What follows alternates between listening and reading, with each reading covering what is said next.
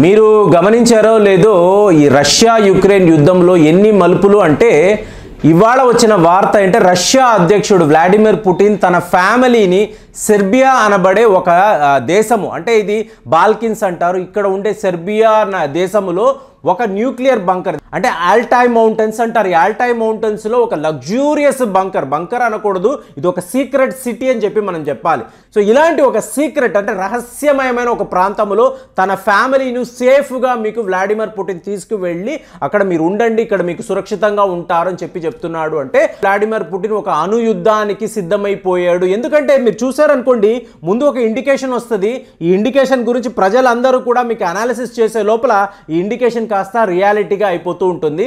ఇవాళ Zircon missile గురించి మాట్లాడాం. లండన్ మీద దాడులు చేస్తామని చెప్పి వ్లాడిమిర్ పుటిన్ ఒక వార్నింగ్ ఇచ్చాడు. మీకు ఇమీడియట్గా చూసారంటే ఒక హైపర్సానిక్ షిప్ అని అనేది యుక్రెయిన్లో వాళ్ళ యొక్క అలాగ ఆర్మ్స్ యొక్క గుడౌన్ ఏదైతే ఉందో దాని మీద మీకు రష్యన్స్ ప్రయోగించారంటే నెక్స్ట్ ఇప్పుడు అనుయుద్ధం రావచ్చు. మీరు దయచేసి పలానా బంకర్లోకి వెళ్ళండి.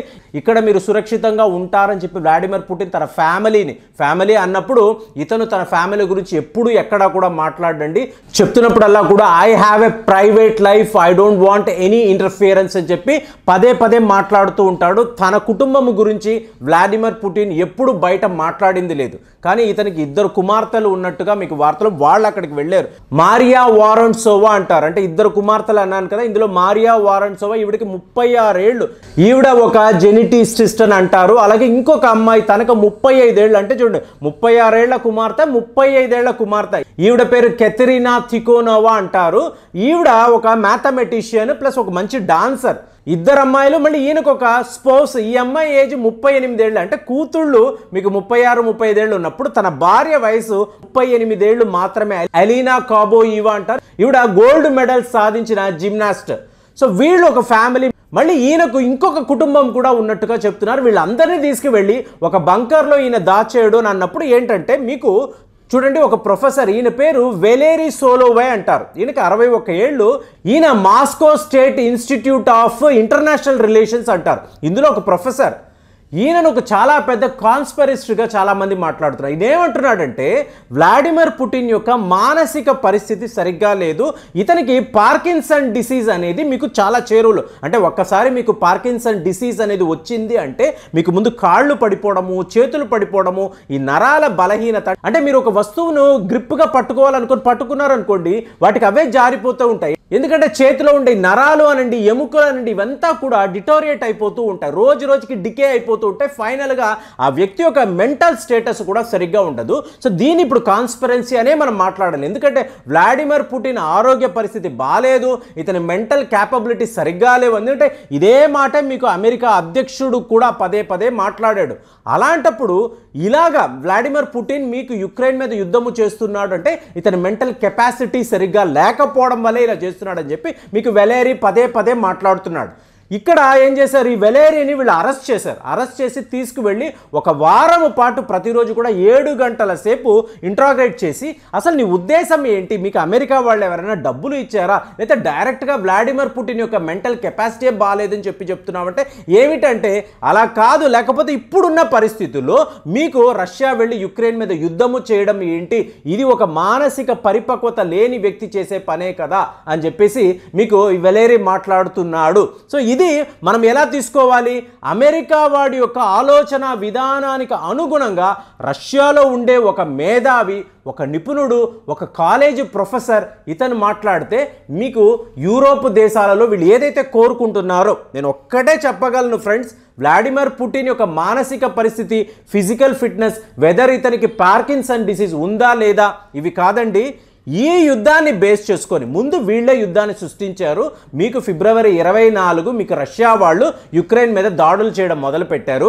ఆ రోజు నుంచి మీరు గమనించండి. అంటే కీన్గా యుద్ధాన్ని గమనిస్తే ఎందుకు ఇది చెప్తున్నానంటే భారతదేశానికి యుద్ధం అనేది చాలా చాలా ముఖ్యము. కానీ మనము వీళ్ళలాగా ఈ పిచ్చి ప్రాపగెండా అనేది మనం చేయడం లేదు. కానీ అదే యూరోపియన్ దేశాలను తీసుకోండి. వీళ్ళు ఎట్లా మాట్లాడుతున్నారంటే ఈ యుద్ధం అనేది మా పొలిటికల్ మైలేజ్కు చాలా చాలా ఉపయోగపడుతుంది. ఇప్పుడు మీ గ్రేట్ ఎగ్జాంపుల్ బోరిస్ జాన్సన్ ప్రతి ఒక్క సందర్భంలో ఈ యుద్ధంలో తాను లిటరల్గా తుపాకులు పట్టుకు వెళ్ళి రష్యా సైన్యానికి వ్యతిరేకంగా యుద్ధము చేస్తున్న లెవెల్లో మీకు స్టేట్మెంట్లు ఇస్తూ ఉంటాడు. ఎందుకు అంటే మీకు యునైటెడ్ కింగ్డమ్ యొక్క ప్రధానమంత్రి అబ్బో చాలా గొప్పవాడు చాలా గొప్ప వీరుడు వీడు డైరెక్ట్గా రష్యాని ఎదురిస్తున్నాడని ఆ ప్రజలలో ఆ ఇమేజ్ క్రియేట్ చేయడానికి. మీరు అమెరికాని గమనించారనుకో జో బైడెన్ కూడా సరిగ్గా ఇలాగే తాను లేని ఒక యుద్ధాన్ని సృష్టించి ఇవాళ యుక్రెయిన్ వెనక మేము ఉన్నాము మేము యుద్ధం చేస్తాం. ఎలాగైంది? లెవెల్ పెరిగి పెరిగి పెరిగి ఆఖరికి ఇవాళ రష్యా వాళ్ళు అణు అస్త్రాలను వాడే లెవెల్కి వచ్చేసారు వచ్చారంటే ఏంటి?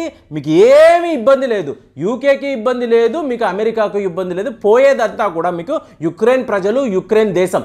కాబట్టి రెచ్చగొట్టడమే. ఎంతలా రెచ్చగొడుతున్నారంటే వీళ్ళు లోకల్గా. ఇప్పుడు చూడు ఇమాన్యుయల్ మ్యాక్రోన్ స్టేట్మెంట్ ఇచ్చాడు. నేను ఇంతకు ముందు రష్యా అధ్యక్షుడిని కలిసాను చాలాసార్లు. అప్పుడు అతని మాట్లాడే తీరు అతని ప్రవర్తన ఒకలా ఉండింది. ఇప్పుడు కలిసినప్పుడు అతను ఏదో ఒక రోగంతో బాధపడుతున్నట్టు కనిపిస్తున్నాడు. అంటే ఈయన ఒక స్టేట్మెంట్ ఇస్తున్నాడు. ఈయన అంత పెద్ద డాక్టర్ అనమాట ఆయన అలా అబ్జర్వ్ చేసేసి ఈయన చెప్పేస్తున్నాడు. ఏంటి? మీకు ఫ్రాన్స్లో ఇలాంటి ఒక ఇమేజ్ ప్రతి ఒక్క దేశము కూడా డబ్బున్న దేశము కూడా ఈ యుద్ధాన్ని వాళ్ళకు అనుకూలంగా ఎలా మలుచుకోవాలి? పోయేది బలి పశువు యుక్రెయిన్ వాళ్ళ అధ్యక్షుడు అక్కడ నివసించే ప్రజలు అంతే. కానీ రష్యాకు అలాంటిది కాదు. ఆ నియో నాజీస్ నుంచి దేశాన్ని కాపాడాలన్న ఒకే ఉద్దేశంతోనే మీకు రష్యా యుద్ధం చేస్తుంది. ఇవాళ వీళ్ళు ఏం మాట్లాడుతున్నారు? రష్యా వాళ్ళు నూట తొంభై ఆరు మీకు అన్మానడ్ ఏరియల్ వెహికల్స్ను ధ్వంసం చేశారు. ఎవరిచ్చారండి? మీకు వెస్ట్ దేశాలే ఇచ్చారు. వీళ్ళు ఎవరు యుద్ధం చేయడం లేదు. వీళ్ళు ఆయుధాలను తీసుకువచ్చి యుక్రెయిన్లో డంప్ చేస్తున్నారు. దానిని ఆయుధాలంతా ధ్వంసము చేయడానికి రష్యా వాళ్ళు అస్త్రాలు అస్త్రాలు అస్త్రాలు పెంచుకుంటూ పోతున్నారు ఆఖరికి ఇవాళ హైపర్సానిక్ మిజైల్స్ దాకా కూడా వచ్చేసారు. ఇప్పుడు పదకొండు వందల నలభై ఆరు ఈ మిలిటరీ బేసెస్ను వీళ్ళు ఎక్కడికక్కడ లేపేశారు అంటే ఏంటి? మీకు యుక్రెయిన్లో ఇక మీదట మిలిటరీ అన్నదే ఉండకూడదు అనేది రష్యా యొక్క ఆలోచన. ఇదే జరగాలి. ఇక ఇండియా విషయానికి వచ్చారనుకోండి సరిగ్గా అంటే ఇవాళ చైనా ఇండియా మాత్రమే మీకు రష్యా వైపు ఉన్నారు రష్యాకు సపోర్ట్గా నిలబడుతున్నారు. కాబట్టి వీళ్ళు ఎలా తిప్పేశారు? ఇండియా నువ్వు తీసుకునే నిర్ణయము చాలా చాలా ఇంపార్టెంట్. నువ్వు మాతో క్వాడ్ గ్రూప్లో ఉన్నావు. క్వాడ్ గ్రూప్లో ఉన్నప్పుడు ఏంటంటే మనము కలిసిమెలిసి చైనాను ఎదిరించాలి. కాబట్టి నువ్వు ఈ రష్యా గ్రూప్లో ఉండకూడదు. రష్యా చైనా గ్రూప్లో ఉండకూడదు. నువ్వు క్వాడ్ గ్రూప్లోకి రావాలి అని చెప్పి మాట్లాడుతున్నారు. ఏమైపోయింది? మీకు ఆస్ట్రేలియా యొక్క ప్రధానమంత్రి ఇతను నరేంద్ర మోదీ గారిని కలవబోతున్నాడు.